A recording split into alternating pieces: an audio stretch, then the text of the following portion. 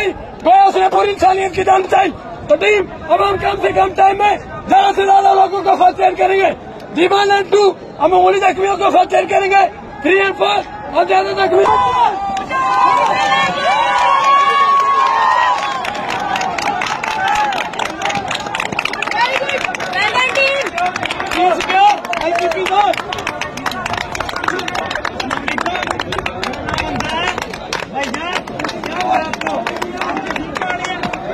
क्या आपको?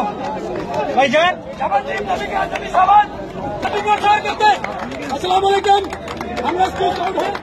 हमने